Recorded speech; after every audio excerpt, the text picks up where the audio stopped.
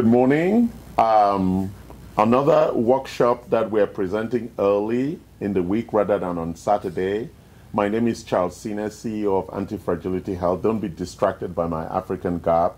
The more interesting person here is Dr. Daniel Johnson, who's our medical director. Yes, and I left my African garb at home. I'm so sorry. Yes, origins from Africa, and uh, we're going to make sure you have one, okay, Dr. Johnson? Uh, so today we're going to talk about energy medicine, and we're going to talk about one of the tools that uh, Dr. Johnson has been using for quite some time, which we have here in the clinic. And uh, so, Dr. Johnson, so how does energy medicine it, how do you integrate that into your practice and delivery? Okay, well, first of all, uh, everybody needs to understand that the human body runs on electricity. Uh, a lot of people think we run on chemistry, but that chemistry has to be activated by an electrical uh, current. Every cell in our body is a miniature battery, okay? And uh, when our when battery. you say monitor battery with a positive and negative yes, ends yes. To, for the electron transfer. Yes, exactly. Right, which is critical at yes, the cellular level. Exactly. Yeah. So, with energy medicine, we're working with the idea that the human body runs on electricity. And as we age, as certain parts of our body get sick, or if certain parts of our body are injured, that electrical current uh, doesn't flow efficiently. Yeah. Now, every part of your body has a unique electrical frequency that it resonates. So your brain has one frequency, your heart has a different frequency, your lungs a different one, your your uh, kidneys, your liver, your Many pancreas. people don't know what frequency is. Well, frequency is um, how many times per second uh, the the current is flowing. Okay. So, for example, if you plug into a, a house outlet uh, you're getting 60 hertz, which is 60 cycles per second. Second, yes. So, so that 60 is the frequency. Correct. Okay. Yeah, I just wanted people to understand Sure. what that meant. Sure. Yes. Sure. So, with um, with energy medicine, with our frequency-specific microcurrent machine, uh, we now have the ability to add in. Uh, back into the patient the healing electrical frequency that the specific part of their body happens to So, need. so what happens is that when it's out of sync, this we want to bring it back to Exactly. what the normal frequency would be. yes, It- yes. It's almost like you're shocking the system back, right? Well, I hate to use that term because Yes. people don't like to be shocked, Shocked, because yes. that's an unpleasant sensation. Yeah. The reality is that uh, this is not current, this is microcurrent. Okay. Uh, and what's the difference? Well, the difference is this is approximately one millionth of the strength of the electrical current you get out of the wall socket. Okay, so it's a microcurrent. It's a microcurrent. So the, the feeling is never one that you would feel like you're being shot. Never. Okay. Never. Um, yeah, people don't want to be shocked. That's not a pleasant sensation. Since Yeah. your body is already used to running on microcurrent, Yes. your body doesn't usually even perceive this. Yes. In fact, uh, commonly patients say, Is this thing on? Exactly. Because they're not feeling it. I have received the treatment, Yeah. and I'm going to talk about that. Yes. Yeah. And, and I didn't. I just feel like a little tickling. Yeah, it's possible Yes. to. Um, to experience a, a slight tickling or Yes. tingling, or Tingling, prickly yes, tingling, sensation. yes. Uh, if it's unpleasant, we just turn the intensity down. Down. Yes. Yeah. Yeah. Okay. So, um, why did you start doing this? Um, I, I- you know, you've given us the background about the electricity and the the, the overall architecture at the cellular level being a battery.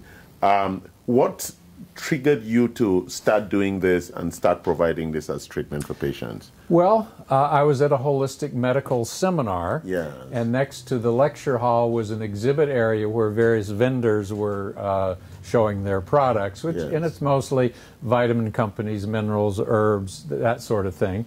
Uh, but this FSM company Yes. uh, had a booth there, and I thought it looked intriguing, and I stopped by to learn more. Hmm. And uh, within a few minutes, I knew this was something I very much wanted to add To- to uh, to, to the portfolio of treatment. services that you provide at uh, the clinic. Yeah. Both here and in the desert. Yeah.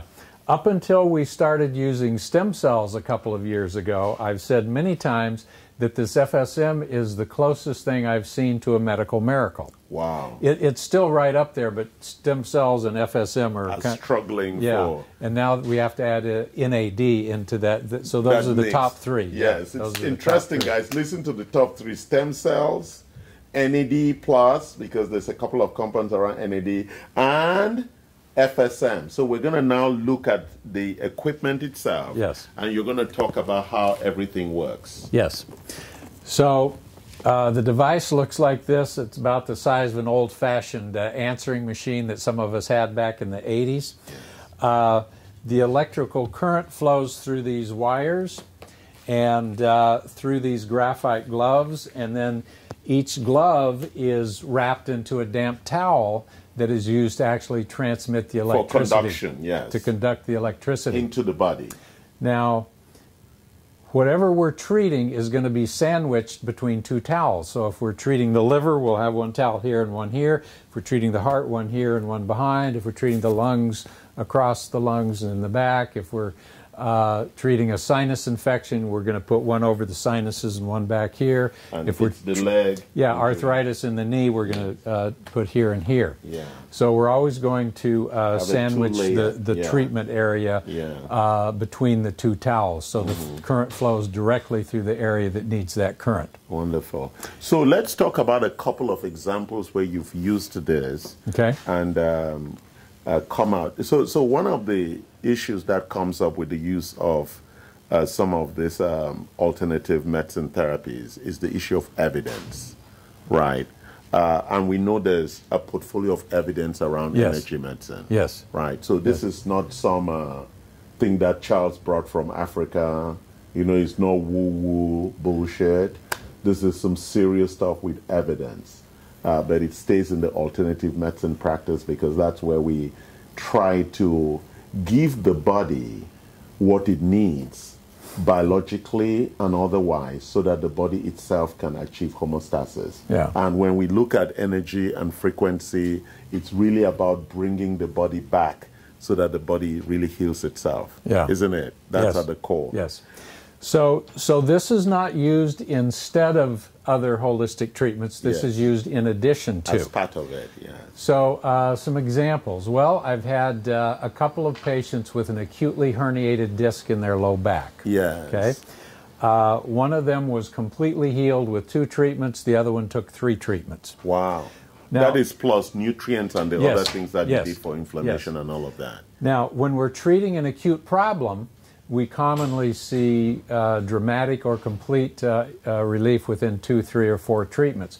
When we're treating a chronic problem, uh, we well, always tell us what is a chronic because there's acute Yeah. and there's chronic. So tell us the difference so people understand. Okay, so acute is something that's happened very recently, usually within the last month or so. Yeah. Uh, chronic is something that's been going on for a many months or even years. Oh, I just fell the other day and I have a problem with my back. That's acute. Yeah. But I've had back pain now for three years. That's Yeah. a chronic issue. Yeah. Yeah. Just so, what's the difference with treatment when it's acute and when it's chronic?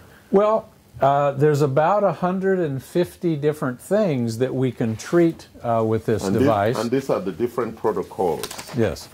And so when we choose the right protocol, uh, we dial it in on the machine, then the machine automatically uh, selects and administers the proper healing frequency for that particular organ and that uh, particular condition. So, for example, if you got low back pain, we need to know is it a disc? Is it a problem with a facet? Is it arthritis in the spine? Is it uh, tight knots in the muscles in the back? And that's why we need a, a, a medical practitioner to, To figure that out. to figure that out. So you can't just go on your, by yourself at home and say, "Oh, I know what it is," because then th- there's a setting on the machine Yes. that is specific for what kind of problem it is, for the based on the diagnosis. yeah, now th- there is kind of a generic benefit Yes. uh, so that if you accidentally uh, treat your low back with the heart setting or the kidney setting, you're likely to still get some benefit. yes. But uh, you're not going to get the maximum benefit because you haven't zeroed in precisely for on that, the exact frequency. frequency. Yeah. Yeah, the frequency it's the critical thing. Yeah. So let's talk about because I've been receiving a treatment for my kidney. Yes. Yes. So how did we come to determine that I should treat my kidney? Well, we looked at your creatinine, which is a blood test. Yes. Okay. Uh, creatinine is the name of one of the waste products of our protein metabolism. Yes. One of the jobs of our kidneys is to get rid of those waste products. Yes. And if your kidney is doing that efficiently, your creatinine level will stay low. Yes. But if your creatinine level is climbing higher, it means that uh, your kidneys are not as efficiently getting rid of the waste products as they should. So, Okay. uh, creatinine is a fairly standard blood test that uh, most doctors will do just about any time you have blood drawn, and so you can see trends. Uh, if you're dehydrated, uh, you may have an acutely elevated creatinine. Yes. Uh, but then when you start drinking an appropriate amount of water, your creatinine becomes normal. In your case, uh, we, we're seeing a long term trend. yes. So uh, I've treated patients that uh, had kidney failure and were headed towards dialysis. And with a combination of the FSM and proper nutrients and some other things they needed, we were able to get their kidney function almost back to normal. Amazing stuff, right? Yeah, amazing Considering stuff. how many people are going. So that's kidney. So uh, we were also talking about prostate.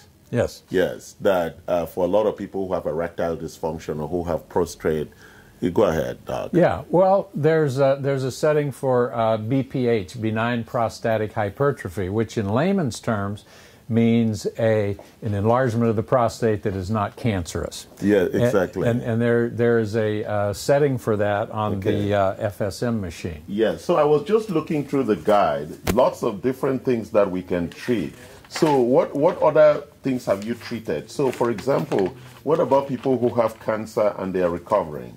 Or they've had surgery. I mean, you you just had surgery. Yes, I did. A couple of months ago. Yes. So talk to us about that. Okay, so on the FSM there is a wound healing setting. Okay. Wound healing. And this can be a surgical wound. It can be uh, A diabetic wound. Yeah, it, it can be uh, a laceration on your arm because Yes. you fell into the spokes of your bicycle or, or whatever the case Or like me be. falling off my big bike. Yeah, yeah. So um, I used some uh, homeopathics right before the surgery that speed up the wound healing process, and Yes. immediately after the hernia surgery, I used the FSM, one towel here and one on my low back. Uh, I was up and around and shopping at Costco three days after, After the surgery. surgery, yes. Uh, I was back seeing patients five days after that surgery. And during that entire time, I did not take a single pain pill. Wonderful. And so Wonderful. uh, I, I'm absolutely convinced that this uh, made a very significant Wonderful. difference. Yeah. So um, we have this at the clinic, and uh, the the protocols almost cover everything to do with pain, to do with your nervous system, to deal with uh, trauma, uh, glands. Yeah, let, let, let me interrupt. Um, one of the most amazing settings on this is for concussions. Yes. Okay.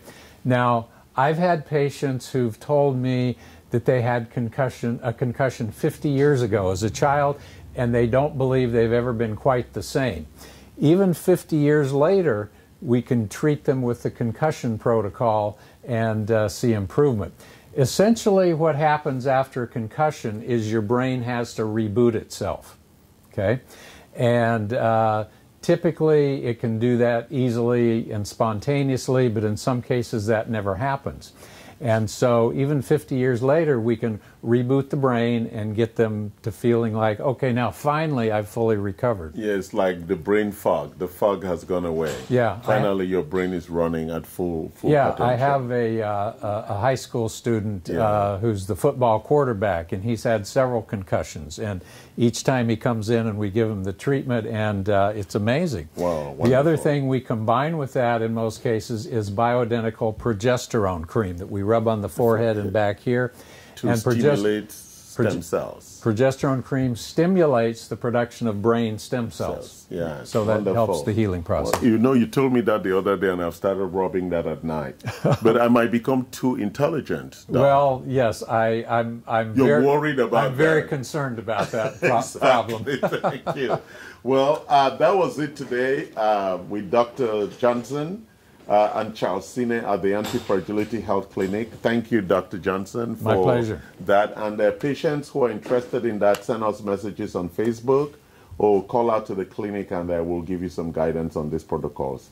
Thank you again for joining us. All right. Thank you. Thanks, Dr. Johnson.